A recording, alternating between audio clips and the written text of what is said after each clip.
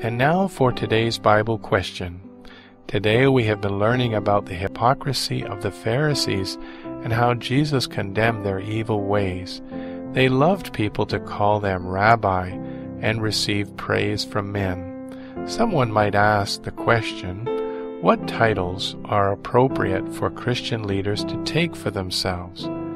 Quite often we hear men calling themselves reverend or doctor or most reverend, or some even go so far as to call themselves most right reverend. I hear some taking titles as pastor, apostle, prophet, or evangelist. There seems to be no end to these titles that are given for the distinction and honor of men.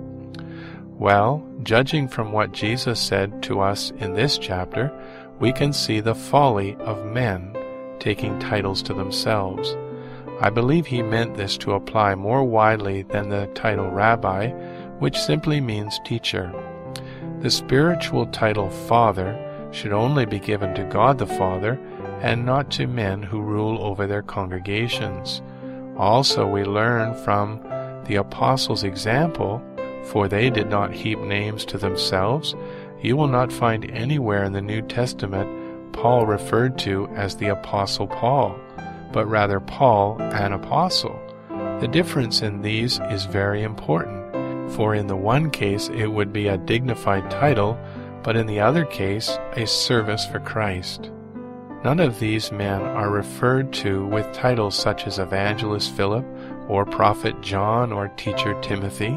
All are addressed by their common names, with their work or ministry perhaps also given, but never as a title.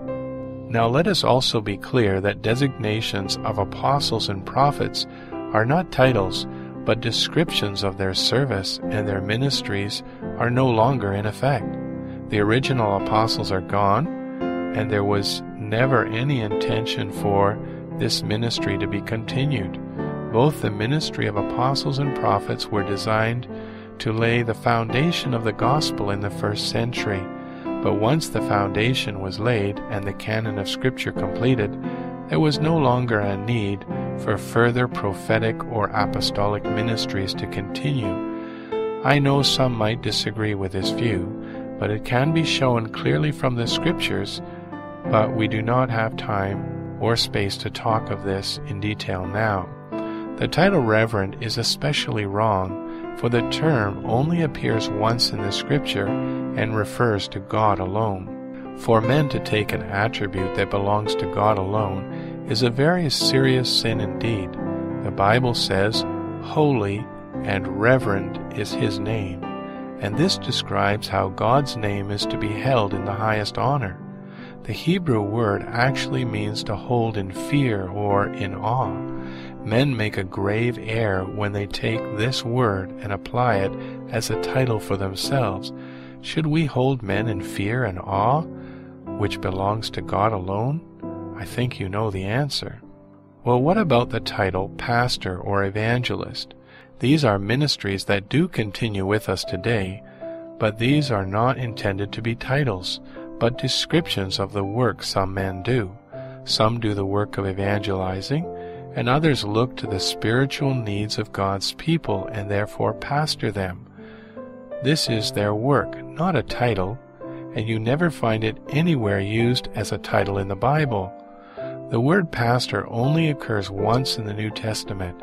It is in the plural form and refers to mature men who care for Christians. Today, the name pastor is so frequently used by men as an official title even the terms elder and deacon are not titles but descriptions of their character and the work that these men do. An elder means an older man who is spiritually mature and meets the character qualifications of 1 Timothy chapter 3. They labor at feeding and tending to the spiritual needs of those under their care. But we never read of Elder Peter or Elder Paul.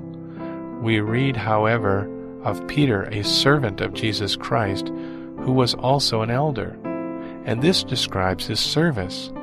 We do not say plumber Peter or mechanic Michael, so why must we say Pastor Paul? There are no titles that Christian leaders should take for themselves. but they might speak of their ministry or work as an evangelist, teacher, preacher, elder, or deacon.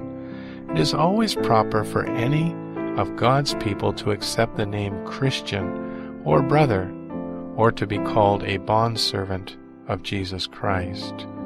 Who then is Paul, and who is Apollos, but ministers through whom you believed, as the Lord gave to each one? 1 Corinthians chapter 3, verse 5.